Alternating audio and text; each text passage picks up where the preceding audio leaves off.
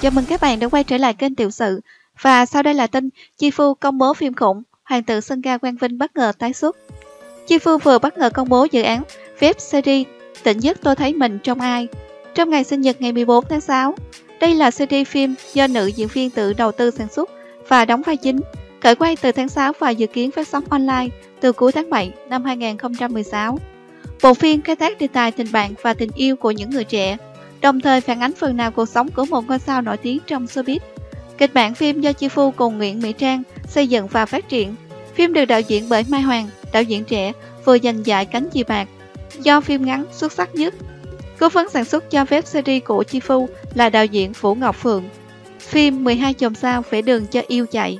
Trong ngày sinh nhật 23 tuổi, ngày 14 tháng 6 vừa qua, Chi Phu bất ngờ hé lộ dàn diễn viên gây bất ngờ cho công chúng. Ngoài Chi Phu, phim còn có sự tham gia của ca sĩ Phân Anh, học trò Mỹ Tâm tại Giọng hát Việt 2015, diễn viên trẻ Công Văn Dương và đặc biệt là ca sĩ văn Vinh. Đây là lần trở lại đầu tiên của hoàng tử Sơn Ca sau thời gian dài phóng bóng showbiz. Tỉnh giấc tôi thấy mình trong ai, đánh dấu bước chuyển mới trong vai trò sản xuất phim của Chi Phu. Dự án phép CD được nữ diễn viên tâm huyết gần một năm tròn. Chi Phu dành nhiều thời gian để cùng biên kịch, xây dựng kịch bản, phát triển tâm lý nhân vật, tuyển chọn diễn viên và tìm kiếm ekip chuyên nghiệp. Toàn bộ kinh phí của phim do Chi Phu đầu tư và được sự đồng hành của các đơn vị tài trợ. Trước đó, nữ diễn viên từng sản xuất hai phim ngắn thành công là Cô gái trên tầng thường, giành giải cánh diều vàng và Mission Joy được hơn 1 triệu lượt xem trên YouTube. Thông tin của kênh chúng tôi cung cấp cho các bạn đến đây là hết.